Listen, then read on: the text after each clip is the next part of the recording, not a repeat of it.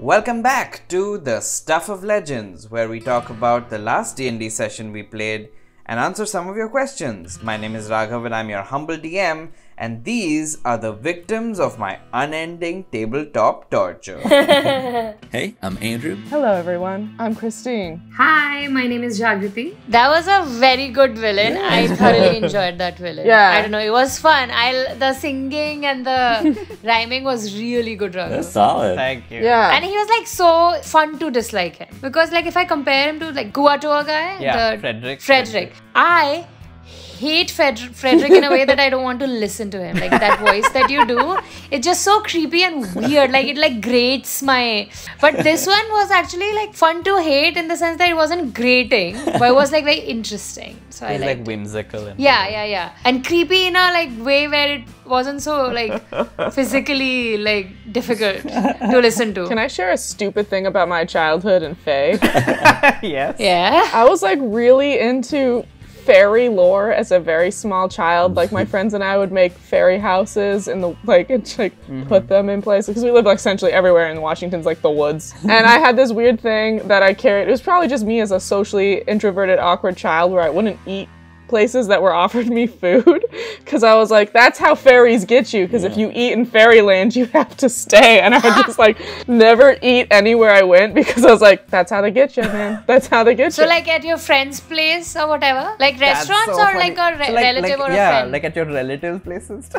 like at Olive Garden. like at friends' places when I'd go to friends' parties and there'd be food there, unless like someone, it, I just wouldn't eat. They'd be like, "Why aren't you eating?" I'd be like, oh, "I'm just not hungry. I don't." And then later I'd be like, Wait, how "That's old? that's how I, w- I did that for way too long. I was probably like entering high school and I was like, "You got to stop doing this now. It's like, super weird." That's so funny. That's great. I, I imagined going to like an Olive Garden uh-huh. and they bring you your food, you know, and you're like, nice try. Yes. nice try. Better luck next time. I wasn't. My parents would have killed me if I'd done that. It was like at friends' houses or school events, but but it was me probably just being too picky of an eater, just telling, giving myself an excuse. I like I don't know much about this lore and all that, so I I had, I didn't know fairies were supposed to be evil. Oh, fairies are dicks, man. They're like dolphins. People think they're cute and awesome, but really, total assholes. Yeah. I also love that this session was like so like it tested your friendship so much. In Rocco's defense, Timbo was terrible. You think I don't have feelings just because I'm an awful person? I do. Jimbo has his days, you know. You get a girlfriend and you're immediately, I'm better than this. I see how it is.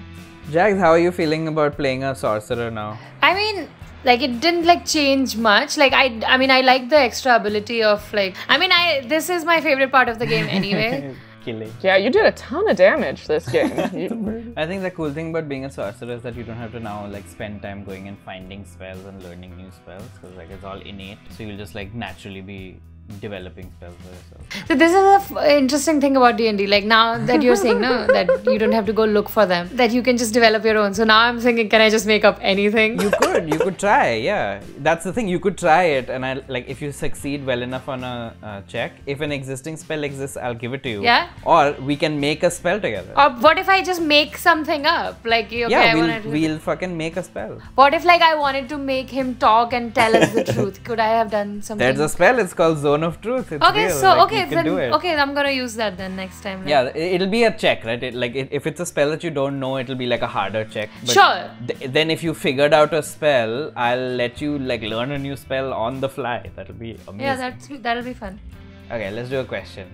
Uh, Phantom Wolf asks Question for Rocco. As a bard, what is your character's favorite instrument to play? We have never seen Rocco play. It remains to be seen if she actually can or if she's pretending and just likes to hold things for the look of it. I feel like Rocco would say things like, "My voice is my main instrument," while like strumming one note. Mm-hmm. But she, I, she ha- likes or like on my character sheet, I have a lyre and like I like to imagine that I can play a mandolin because I own a mandolin oh, and Oh, nice. I do not know how to play it. Scotch strings make your fingies hurt so bad. Did you know that? There's a really lo- big learning curve. It's real hard. If it goes badly, you can blame it on Timbo. Yeah, here you go. Does Timbo play any instruments? I know the real. I know the real player does. I think um, growing up in his dad's shadow, he like never wanted to try because the minute he would try, he'd get notes from his dad on how to do it better and how when he was touring 20 years ago, this is how it's done. So I think Timbo is like intimidated out of playing an instrument. I think. Fair enough. Fair enough. I love how much like backstory Timbo has, and we explore none of it in the game. Yeah, it's all up here. oh man.